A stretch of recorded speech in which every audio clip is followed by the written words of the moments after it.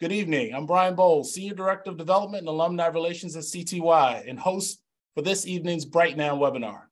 It is my absolute pleasure to turn it over to our new Executive Director, Dr. Amy Shelton, who will introduce our special guest. Amy? Thank you, Brian. Good evening, everyone, and thank you for joining us tonight. It's my pleasure to introduce tonight's speaker, James Rhee. James is an acclaimed impact leader, entrepreneur, and educator who transforms people, brands, and organizations by identifying and unleashing purpose through the union of mathematical and creative systems. As an investor, James has helped manage billions of dollars of growth and distressed capital at two Boston based institutions before ultimately founding Firepine Group, a platform that has stewarded the capital of some of the world's most sophisticated investors. His most current venture, Red Helicopter, is driving global system change by uniting people at the intersection of the most tra- transcendent values of education principles and money. As an educator, James serves as the Johnson Chair of Entrepreneurship, a professor of entrepreneurship, and senior advisor to the newly endowed Center for Women, Gender, and Global Leadership at Howard University. He is the executive in residence and strategic advisor at the MIT Leadership Center and holds an appointment as senior lecturer at the MIT Sloan School of Management. One of James' most notable accomplishments includes using a people over profit philosophy to save Ashley Stewart, a clothing retailer that serves and employs predominantly Black women, from heading towards liquidation. And this story has been featured by the world's leading media platforms, including most recently by TED Conferences and Brene Brown. James received his BA with honors from Harvard College and his JD with honors from Harvard Law School, where he was an editor of the prestigious Harvard Law Review. Whew. Now, please welcome James Rhee and Brian Bowles. Thank you. Thank you so much, Amy. Uh, James, first and foremost, what thank you and and what a mix of experiences and we're here to talk about math and kindness if if i didn't know you I, would say who is this guy um, but thank you so much uh, for making time for us. And um, just as a, as a note, uh, James, I wore a sweater just for you. I figured you would come with your sweater. So I, I figured I'd put my sweater on so we'd match a little bit. The um, necks, yes. Yes, definitely, definitely. Um, so first off, you you are now officially a CTY parent. And I always like to start at home with things, but um, I mean, first and foremost, how are you doing? Uh, let me start with that question. Um, I just want to check in and, and see how things are going. Yeah, things are going things are going well. You know, family's good. I lost the oldest one to college uh, this past fall. I still have two two daughters left at home. Son went off to Yale and started as a freshman, and um, Meg and I are doing okay. A little sad, that the, the the family unit is now broken up, but uh, really really proud too. No, definitely, definitely. Well, as you as you know, I've got a long way to go before I got get there. I've, I've got a three year old son, so it'll be a way it'll be a ways away, but I'm enjoying the moments. And Lila so, and Lila had a great time this past summer as a CTY um, student. Um, it was an incredible experience for her. Made a life lifetime worth of global friends. Um, three or four different countries. Wow. It was it was a great experience for her. So, so James, tell, tell me a little bit about the values that your parents instilled in you at a, at a very young age. Yeah, I am the son of two caregivers. So my dad was a pediatrician who immigrated to this country and when you still could do this, he just hung out a shingle. Um, I don't think he had computers when he first opened his practice. So, and so he took care of children.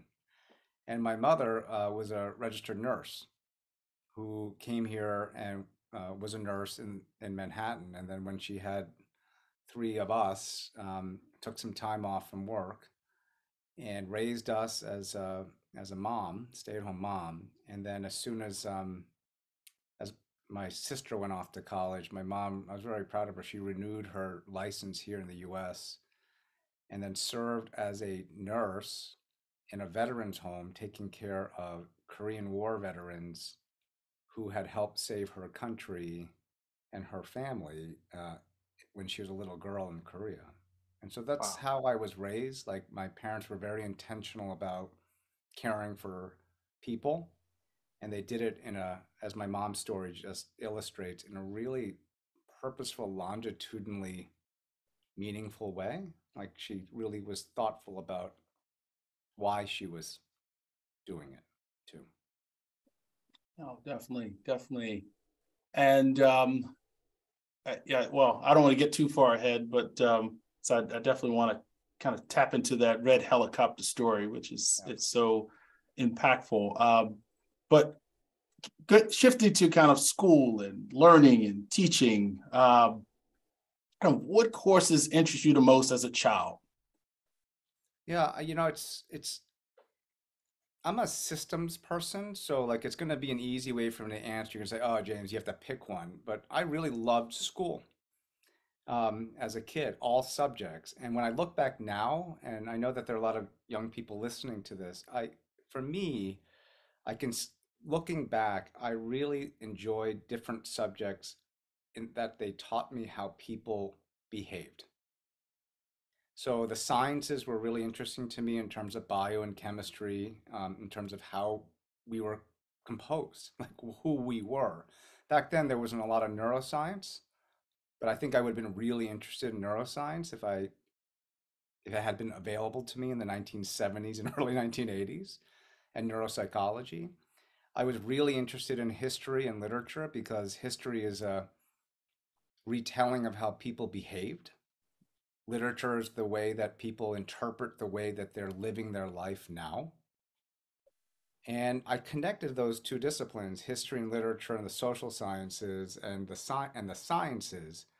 I tended to connect those two with um, math, because there's a fundamental underpinning of all of them, and music. Hmm. So I was a really avid musician. Uh, I still think a lot that way.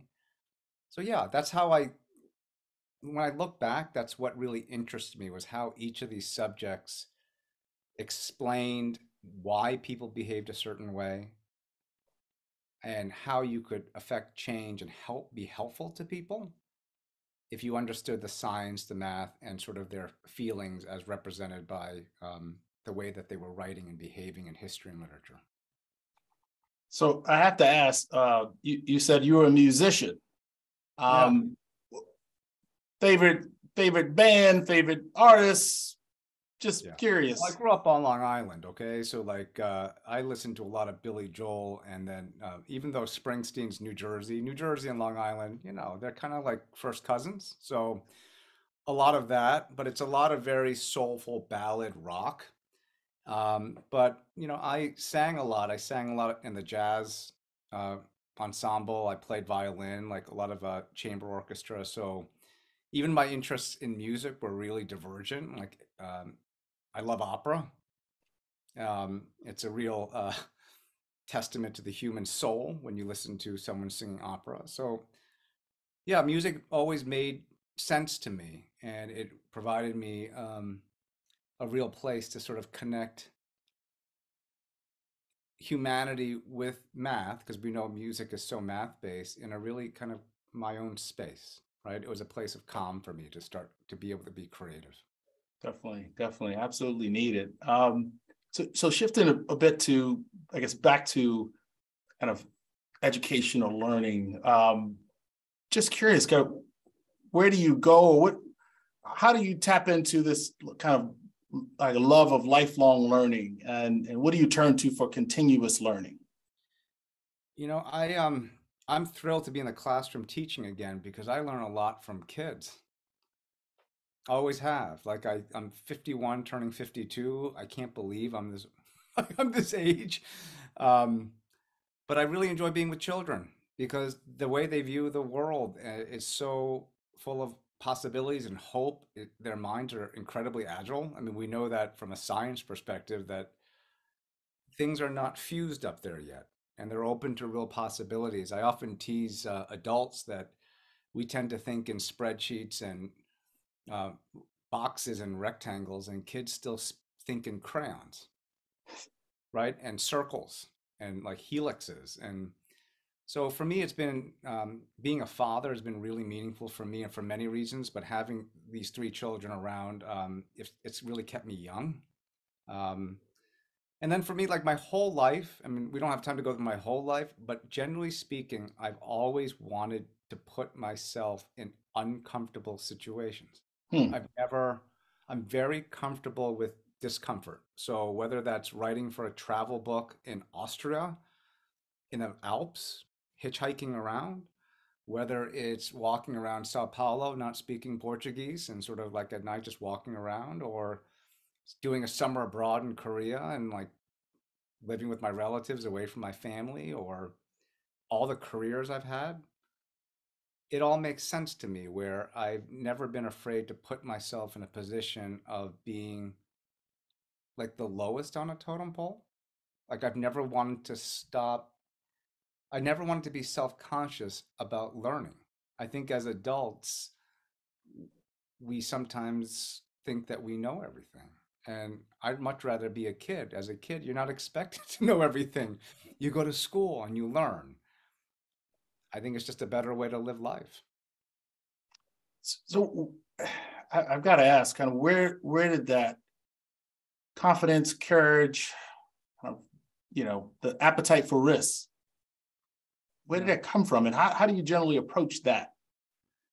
I think i have to like from a foundational perspective uh, i really you know you know that i've lost both my father and my mother at this point and i know that there's moms and dads and uncles and aunts and grandparents watching with their children right now. Like i really owe a lot to my parents. They um no parents perfect. I'm not a perfect parent to my children but my parents uh, they, they tried hard and they loved me, and it they did. And um, I had a particularly close relationship with my mother, uh, who um, I always knew that she was there for me, both of them, but particularly my mom.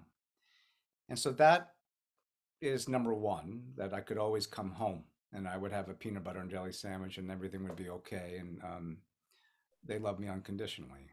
Um, this the second thing for me is you know, it sounds weird, but you know, not to be overly math about this, but sometimes you mentioned risk return, right? I don't when you try something and you quote fail, so my view has been that if you are learning something, creating new relationships, investing in your brain and making new synapse connections, and doing it in a way that is respectful, that leads to long term friendships, that is reputation enhancing, and that you're doing things that are not harming other people, like, you know, the Hippocratic Oath do no harm. What risk is that then? Hmm. I, I, you know, I've, I've not lived my life trying to maximize every dollar. That's not how I was raised. I mean, again, I came from a caregiving family. I taught high school, as you know, after my first job out of college. I think I made twelve thousand six hundred dollars, and I was really excited about it. I've I've just never valued my like my time based on maximizing every single dollar at the expense of not learning, not being happy, not being around great people and enjoying their company. I just have not lived my life like that. Yeah. So that's that's where it's from. I don't view I don't view that as highly risky. I think it's really risky to not be with people that you admire and, and are respectful of you and you of them. I think that's riskier to be around people that you're uncomfortable with and who uh, don't have your best interest at heart. Yeah, no, definitely. It actually makes me think about the, I guess there's a saying or quote of you, you think more about the the you're looking back at it, you think more about the, the things you didn't do or the risks you didn't take versus the things that you did did take um, as far as regrets go, if, if that um, if that exists or that if that's a part of thought. Um, very interesting. So so I want to go to kind of red helicopter and maybe answer this in a red helicopter way, but I mean, we're talking about how to, young people can prepare themselves to be future leaders or to be leaders now. Yes. Um, can you can you touch on that a little bit? Um, just preparation for leadership and how it connects uh, to the red helicopter story. Sure. Maybe I'll start with the red helicopter story and then um, answer the second question as part of that. So, for those of you who uh, didn't watch the TED Talk, is um, yeah, when I was five years old, I uh, there was not a, a, there was not an abundance of material wealth in the Rhee household when I was five years old. My parents were recent immigrants, and and um, I came home from school with a toy red helicopter, and I didn't know why I got it. But long story short, I had received it from a family because um, I had been sharing my lunch with my friend at school because he often came to school without lunch, and I didn't know why he didn't have lunch, and um, but it turns out that uh, his mother had passed away that summer and so that his father had four kids under the age of like 12 and i'm sure he was beside himself. I can only imagine now being a father and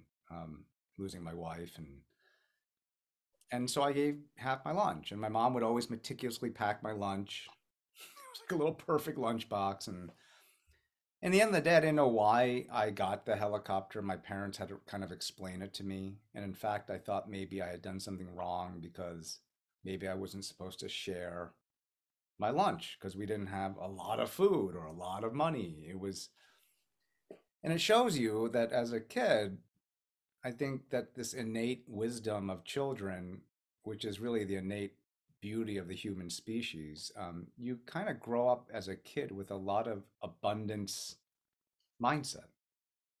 There's a lot, right? Even when you don't have a lot, you there's a lot. Children are just so generous and that they um, they don't understand the meaning of material things. They don't count like that. They think the whole world is they're exploring everything. I don't know anything. Well, you're not supposed to. It's that mindset that goes away actually if you're not careful. Right? As an adult, right? Like you start getting programmed and saying this is how you live your life you need to know exactly these things and memorize it versus applying it. This is what success looks like. Yeah. Not yours version, like this is what you need to do. You start getting a lot of that. And so to loop back to your question on leadership, I think that children, when they ask me, how do I be a leader? I say to them, you already are. Just don't forget do you promise me that you won't forget?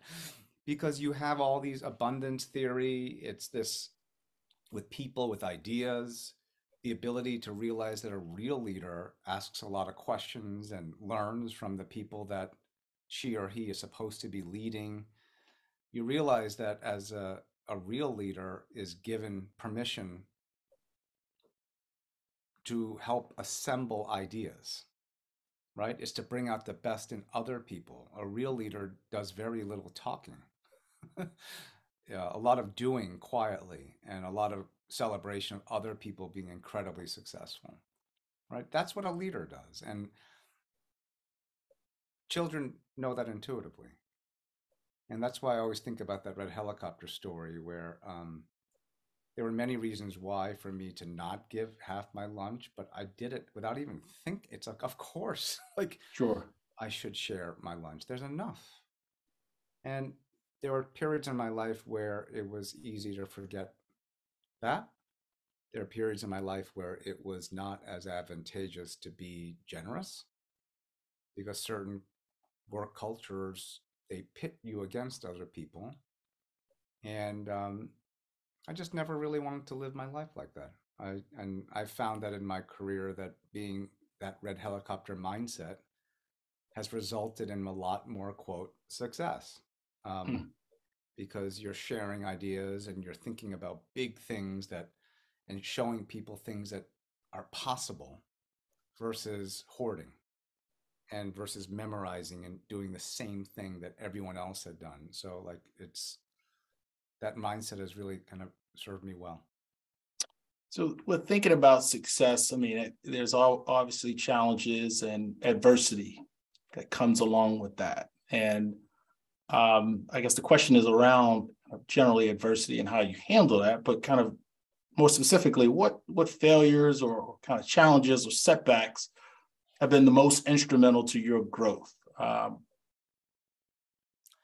you know, I tend to view every day it's like little successes, little failures all of the time. Like I think that's one thing that I really try to um, I know there are a lot of young people listening. It's just it's called level loading your life a little bit that you're not looking for these huge huge wins, huge losses that you're consistent and that it's continuous learning. It's not no learning and then learn and then no learning. So I'll, one thing I'll say is that I fail, mess up, like all the time, all the time. And for those of you who are in like the sciences, right? The the nature of a scientist is that you have a hypothesis and you generally try to prove yourself wrong right? You're supposed to be wrong, like. A lot, right? And if you're into music, creatives, and art, you you draw tons of things, compose tons of things that are wrong. So um, that's my first statement. So for the younger folks, the second thing, look, I think my biggest failure was, um, you know, this company that um, we talked about earlier, this Ashley Stewart. It was a bad investment as a private equity person in a former employer's portfolio, and it was a failure. And I think it's an important lesson for everyone on this call that I felt accountable for that failure. And it wasn't necessarily just to the former employer, it was to the women that the company employed and served that I felt that I could have done a better job as an investor. And so I said, I'm accountable. And I think that's something that unfortunately in our society today, I know a lot of children talk to me about this a lot that they're like, no one's accountable for anything anymore. Hmm. Right? You can just do bad things and you get, and certainly there's a lot of that going on. And it's, you're right to be um, confused about it. Um, it's not a good thing. And so, yeah, I that was my a failure, and then it ended up turning into um, one of my quote bigger successes. Right, that from that failure it became something that TED wanted to talk about, Business Week wanted to talk about, and I'm more proud of the uh, way that we had the success, not actually the end outcome. Oh, definitely. So, so James, going through a time like that, um, just curious, kind of who who are some of your mentors, or who were your mentors uh, growing up, and and just kind of, I, I I believe so much in the power of kind of mentorship and community and family, uh, but kind of what's your approach on that? And what's your, what are your thoughts generally on the the importance of kind of mentorship? Um, and who are your mentors? You know, I clearly my my parents were very important influences in my life. Um, growing up, my older brother was a very important person in my life. Uh, my younger sister has become, I love it, like uh, a source of a lot of wisdom for me. As much as it pains me to say that my younger sister, uh, but she is, and so I've been very close to my family, and I, I my wife and I are incredibly close. Um, I've had a few professional mentors, but really the people who inspired me were people I didn't work with. Mm. So I think that's an important lesson that um, it's like, look, Ron, you you and I don't work together. We're friends, and it's nice to have that sort of relationship with someone that's of like mind that has enough space away from your life. They can give you sort of informed but distant advice. Yeah and they're not too much in your kitchen, right? It's sort of like they they can be more uh, detached. Um, I think detachment is kind of important. Um, so there have been a lot of entrepreneurs that I really they've either founded a big distress fund or founded a tech company that they understand what it feels like to have an idea, to kind of be laughed at by most of the world who says, that's crazy. You can't do that. They understand what that feels like to be alone. Yeah. And to, it gives you conviction. They give you really, you can, you like pursue James, like rel- keep going. Yeah. Because it's so easy to not, right? It's, it really is easy to just, it's too hard. I can't do it. Um, and I still have those feelings, you know, I'm 50 something years old and it's very human. And so, what I've really appreciated in my life, I have a lot of friends that look different. They're all ages. I've got friends stashed all over the world. And um, they've really been sustaining for me. Like it's 50 plus years of friends I've made, and I keep them. I never let go of friends. I always keep in touch, and it's been a real blessing. James, on, on the on the parent end, uh, which who would you credit the most, your your mother or father, uh, on the relationship relationship building and the relation relational aspect um, that allows you to keep those connections, or a little bit of both? Like uh, for me, like uh, my mom, it was my mom. You know, my mom. Um, when I say this to uh, the kids listening, my mom it wasn't as easy for her in this country as it would have been if she had grown up and stayed in Korea. You know, she was an early immigrant to this country. It was pretty isolating for her at times. If you think about when she came here in 1967. And um, there were times that she felt pretty lonely and um, pretty low on the totem pole in this country. But my mother, um, as I think people, anyone who hears me talk about this, you know, I talk about and teach leadership to like some of the most elite companies and CEOs in the world. I always say, you're kind of just listening to my mom.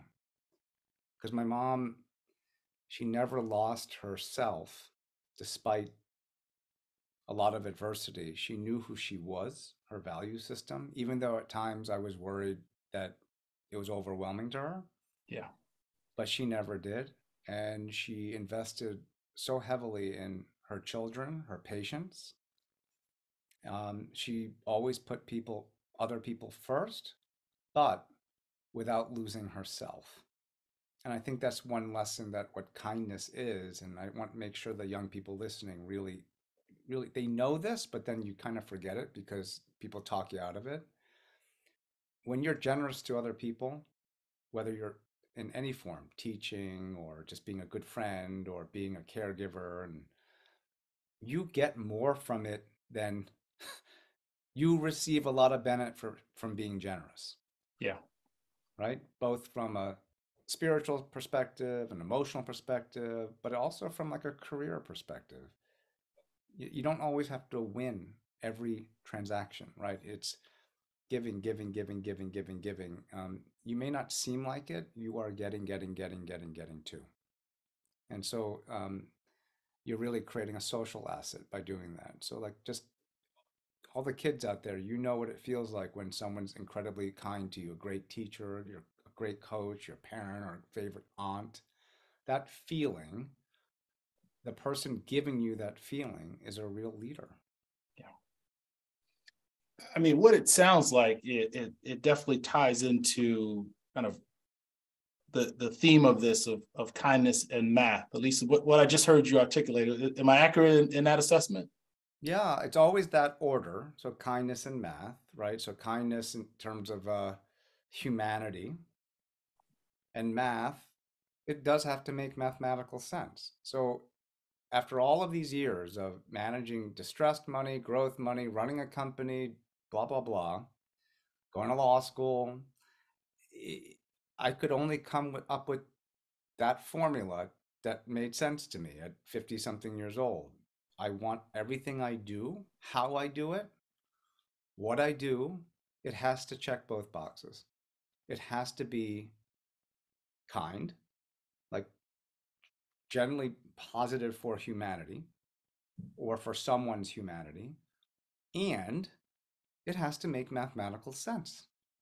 The, the math has to work. Yeah. In that order, right? Kind, yeah. math.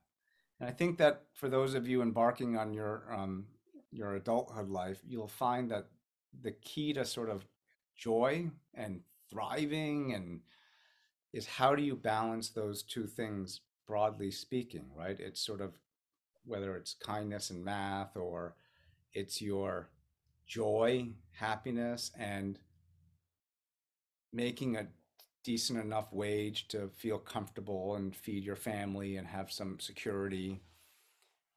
It's music and physics, right? It's the irrational and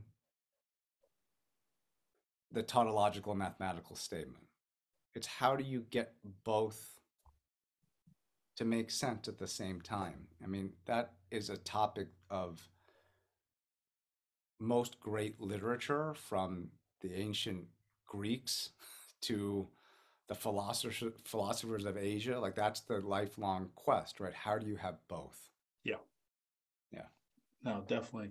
So just a few more questions. You, you talked about creating that kind of space or gap, if you will, and, and just curious to know kind of what do you do to have fun? What are some of your hobbies? Um, how do you kind of break away from the the you know business routine, if you will? Uh, how do you create that separation in space?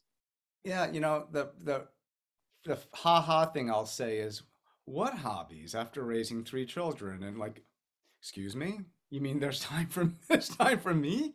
No, that's not that's not a constructive answer. But like I've invested a lot in my family, and so um, yeah, I think the first thing, the easy answer for me to say to you is this: is that I love music. Music is continues to be my space.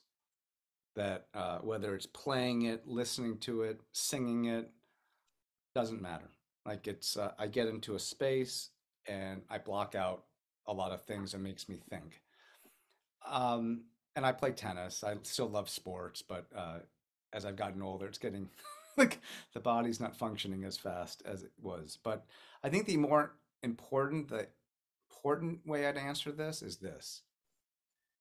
I don't divide work and life. Almost everything I do in my life is because I want to do it. Hmm. I love what I do for my profession. I love what I do in my personal life. And you know this about me, like my profession, it's like I would do it if they paid me nothing to do it. Like I love it. Yeah. And so um, I've really tried to find things that I'm passionate about. And I know what makes me passionate and i think most people actually is that it's when you there's a you see positive change and that you feel like you have some impact on someone yeah. right? That's where the greatest joy comes from when you feel like you've done something that improves the situation of someone yep. you know? And so that's how i would answer and like i think when you have that mindset um, I think the other thing that I'd recommend for all the young people, you really want to like have freedom. Does that make sense? You don't have to be an entrepreneur. That doesn't mean like start your own business to have freedom, because as many of you will find out when you start your own business, you have like less freedom. it's actually really hard um, and it's constant, but it's not that type of freedom. It's more of a freedom that is that you are running your own race that you're defining what is successful for you. Hmm. And ideally, when you're running that race in that way, in a really happy way, what happens is that other people want to run with you. So, ironically, freedom comes from like independence of measurement of other people, but freedom really also comes with the camaraderie that is built from that mindset there's your little oxymoron. So I would recommend that. Like that's how I live, try to live my life as best as I can is to be free and to try to live, to, to walk the walk that I think I'm supposed to walk and um, surround myself with great people who are willing to sort of hand me a cup of water when I'm thirsty, when I, and they walk with me. No, definitely. Um, I think this this is a question that I think could be framed for young students, but maybe for everyone. Um, how do you maintain empathy in spaces that value profit over people? Yeah, I would answer this, and uh, you know, my increasingly people are not distinguishing between the two. I would answer that and say, I think that the most empathetic leaders, people, brands are making more profit. It's not despite. And so, um, to make some tangible, you know, I, I'm not, this is not a paid advertisement for other brands, but I think many of you who are listening, you probably like Apple right? You probably think it's pretty cool, like the device and the community and the apps. Um, you probably also like Pixar. Hmm. And most of you may not know that, and or you do, that both companies were um, founded and have the soul of a person named Steve Jobs. Hmm. Now, as the biographers will say, Mr. Jobs sometimes could was very um, may not have been have been the um, softest manager. There were some bristles to his personality, but he was obsessed with empathy of his customers. Right? It was what's the user experience of a phone, the emotional connection with Toy Story. Hmm. I would argue that empathy is Apple's biggest advantage and why and Pixar. And it was all amplified by really adroit technology. Right? But it was listening to what people needed. That is what empathy is. So I would say empathy is critical to being successful in the business world. Wonderful. Well, James, thank you so much. Um, we, we've got, I've got a couple extra credit questions, but um, at this time, I, I do want to open it up and um, any anyone from our audience, please uh, submit your questions and I'll get to as many as time allows.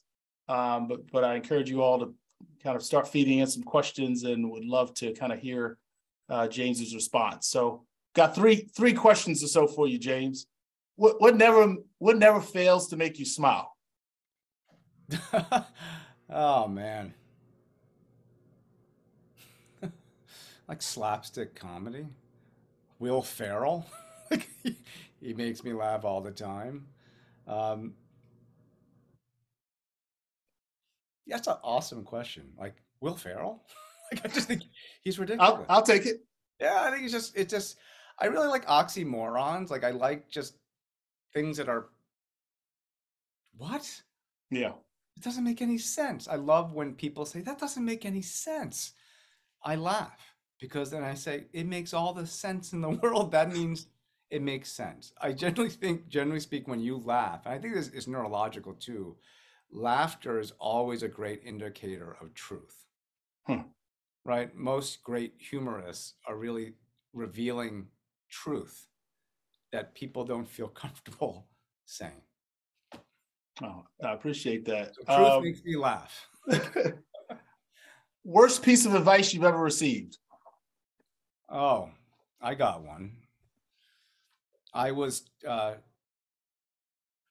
24. And so I know, like, and listen up, young people, okay? Like, I was 24 years old. I was at Harvard Law School. I was um, pretty sure I didn't want to practice law. Like I wanted to go to law school because of a lot of the knowledge and issue spotting, and it's it's a it's a way of thinking, right? That, and I was uh, interested in going into private equity and finance. I didn't grow up with any money. I wanted to learn how to use it and make it, and and so I was in an, an HR office of of uh, outfit out in San Francisco, and she said, "You have to be a lawyer now." because you went to law school, you are a lawyer. And I looked at her and I said, What? Like, really?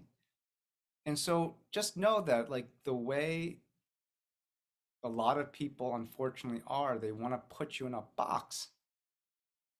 And so all of you listening, do not be put do not get put in a box.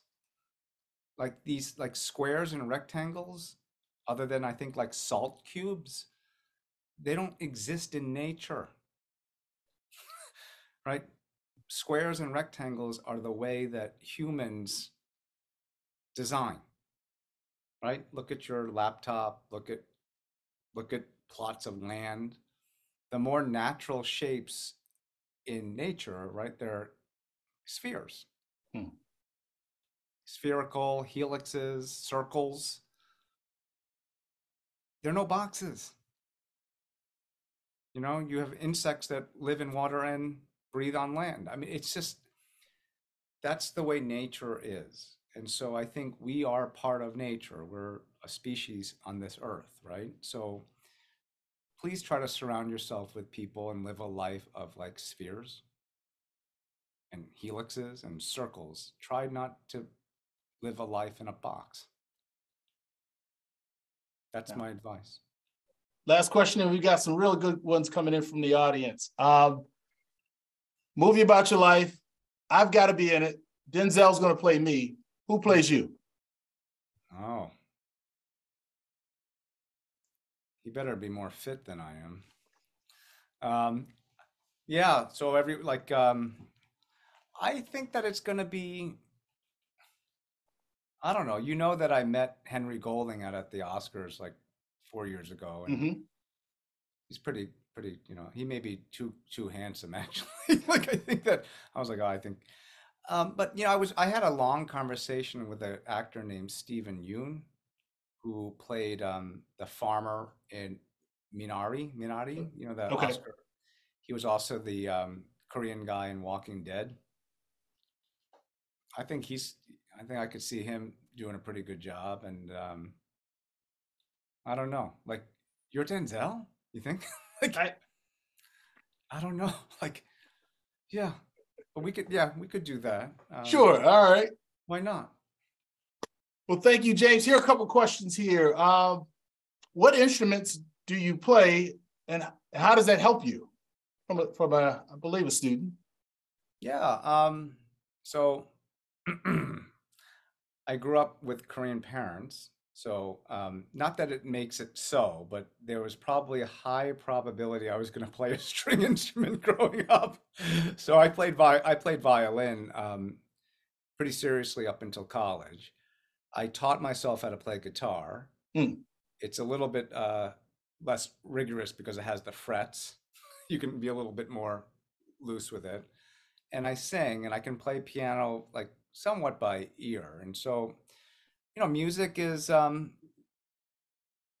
there's a lot of science behind and studies. I wish I had taken a real music theory class. That's a big regret I have.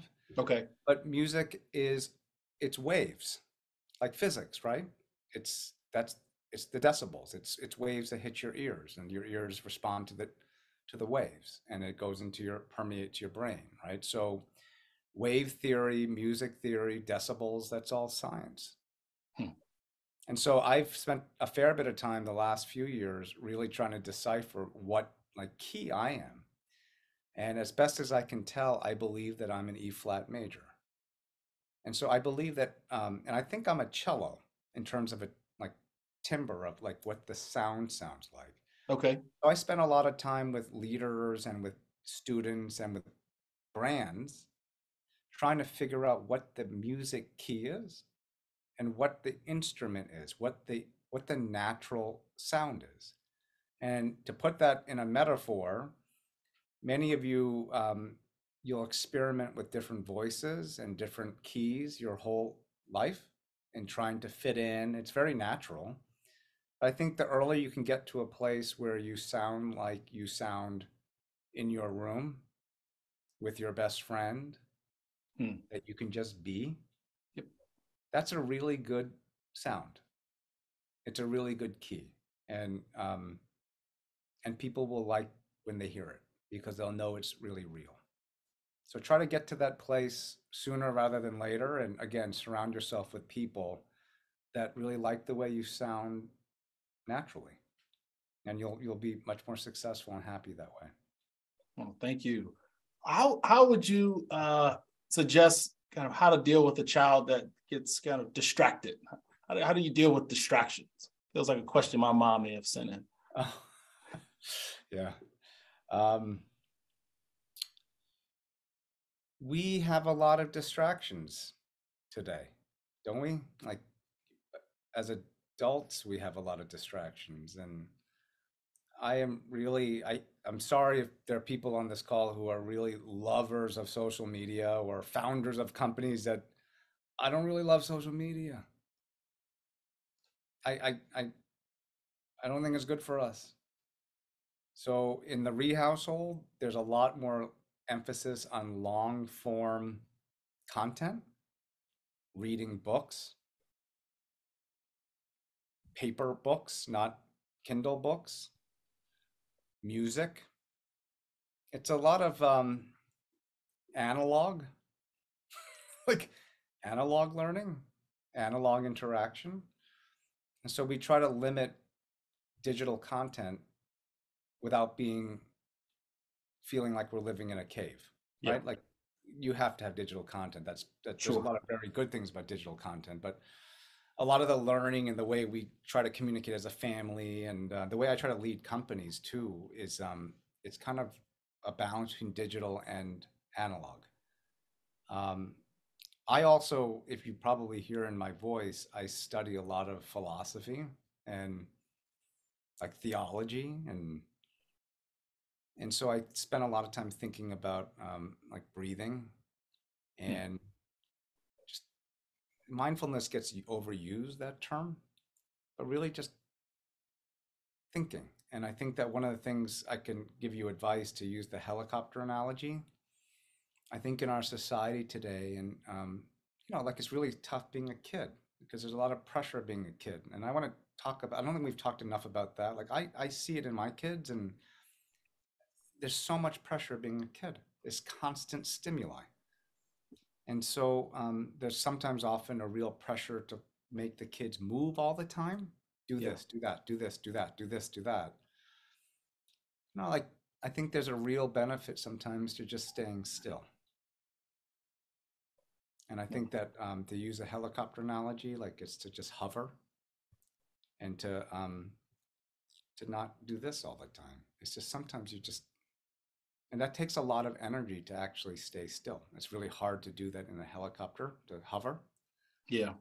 It looks like you're not doing anything, but you actually are really thinking and being very deliberate in your in your actions versus being all over the place. Yeah, I've got a really good one from I'm sure from a parent. How do I guide my my young child to be super kind and continue to be super kind, uh, but to not get taken advantage of? So kindness, I'm glad that that thank you for asking that. So kindness, I think kindness is one of these things that the definition has become distorted. Hmm. So when most people think of kindness now, they think immediately niceness. And they immediately then go to YouTube and they say random acts of kindness and they watch like videos like this and they cry because oh it's so nice. That kid uh, gave the kid who lost his ice cream cone gave him another ice cream cone. That's not kindness. That's being nice. It's like being considerate. Yeah. Um, kindness is very different. Kindness is much more uh, um, steeped in you would most of the major religions are based on kindness. Kindness is very purposeful. It's not random, it's not nice. Kindness is relentless. And it's, um, you are holding people accountable to their best self, to their, like the best, like human version, that's my dog, hu- human version of themselves. And so kindness is very strong. And kindness doesn't suffer fools. And kindness is very direct. Mm-hmm. Uh, when you think about the most kind person in your life, whether it's a parent or a coach or a teacher, um, that person usually elicits from you a feeling of like, oh, I don't want to disappoint that person. I wasn't my best self. That leader is kind because the expectations are very high about being your best version of yourself, not myself, yourself. And so that's that's a social compact. And so um, I don't think that in my leadership style, like I do think that I am a natural teacher, like it's sort of in me, like or a doctor. That's sort of what's in my blood. But um, I think that if you ask most people on Wall Street or in, I'm not a pushover. It's there's a high standard of the manner in which you behave. Yeah. Thank you, Jay. Another question. Um, in an ever-changing world, how do you manage academics, social life, and also remain consistent with your learning. That balance. Yeah, possible. you know, it's uh, you know, I'm in at MIT. Like I help teach in their this. They have a really cool class, it's just systems orgs. So like my brain kind of works that way. I try to do. It's like calligraphy. Okay. If you can do one stroke, you know, in calligraphy, like you're not you're supposed to do one stroke, and not pick up your brush. Um, I try to do all of those things at once. So I learn from, I have a group of friends who I learn from a lot, who make me laugh, by the way, and they're idiots, but they're, and, and but they're very interesting people, so I learn. And you know the old expression, you are who you are based on the top five people you spend time with, yep. right? So so I think about that a lot. And then um, they're doing interesting things professionally. I do a lot of business with my friends. And so I think I just answer those three things, right? It's a, it's sort of like it's it's fun. Um, I try again try not to live my life in boxes like work James, fun James. I think fun James, work James is kind of fun. like you know, I think home James is kind of like um, diligent. I, I don't know, like you know what I mean. Like I, it's again, it's it's. I try not to compartmentalize. I, I I think that our brains try to do that to us. That's not a natural way. I don't think that's a natural way to be. Yeah. Let me let me close with this question. Um, oh, well, here's a good one: Pink Floyd or YouTube? Or U2, not YouTube, U2. yeah, that's tough. Like whoever's asking that question knows that I was born in 71. So they know it's a cuspy question. They're like Floyd in the 70s or U2 in the 80s. That's a that's a good question. I'm gonna I'm gonna outsmart this person and say both. and depends on the mood. But I do I do love U2. Um, uh, they're they're track on Van Diemen's Land. Um, it's one of my favorite tracks. So I've got a you know one question. It's it's a ringer question, but it's it's just kind of really you know, how has CTY impacted your daughter, your family? Just you know, you made the decision to to invest in, oh. and your daughter made the decision to test and qualify and go through that process. But you know, what does it mean to you? Yeah, I'll, I'll, I'm actually going to do it in reverse order. We first met. I knew of CTY when it was first founded. Uh, I think I probably was 10, 12 years old at the time. And, and I knew of the Hopkins program and had a lot of, uh, it was, it was a pioneer. And then we met and I did something with CTY before I knew Lila was going to go to CTY. Lila's interest in CTY was piqued by my relationship with CTY as not as a parent, but you all asked me to do something for last year's cohort. Mm-hmm. And I was grateful. And I was also impressed that an institution like yours was trying to instill in young people a love of learning, but also a love of humanity. That that is clearly my message. That that is my message. That's and I was grateful, and that it felt like if you felt that way, then it was a place where I was comfortable to send my child. Right, and that this was a place that would um, advance her humanity and and shape her ethics and also realize that she wanted to you know i think she said cryptology like um that these were not contradictory to be really big spirited and big and big minded that yeah. they were actually connected so i would answer the question that way that um, that's why lila was excited about applying and uh, I was excited that she was excited about applying, and that um, we felt very fortunate that she was able to, you know, test in a way that enabled her to go. And yeah, and she, it was a, it was a it was a great experience. And this has been a great experience. No, well, James, I, I can't thank you enough. Um, really appreciate it. Um, want our audience to be on the lookout for your book that's coming out. Uh, come in, Red Helicopter. Um, so I think, we, will be happy to. Sh- you can sign up on my Red Helicopter website, but it'll be. I'm writing the book similar to this. It's to the parent, hopeful that you'll read it with your child. It's sort of the way that I did my TED talk. It was uh, meant to be sort of a family, a family discussion. No, we'll, we'll definitely uh, be on the lookout for that. Um, Thank you, Dr. Amy Shelton, uh, for joining us and introducing James. Um, and most of all, thank our attendees, our, our guests today, um, for sending your questions and being with us tonight. Um, visit the CTY Facebook events page where all of our upcoming events will be posted. Uh, we're planning more exciting events and hope you can join us again. I actually just got word that uh, our next guest for Breakdown will be Eve Rosenbaum, who is the Assistant General Manager for the Baltimore Orioles and a proud CTY alum. So we're looking at later November to uh, get her in and, and hear her story. Um, in just a moment, we'll provide information about the YouTube page uh, where a recording of this webinar will be posted within the next few days. Uh, thank you. Hope to see you soon and have an awesome night. Take care.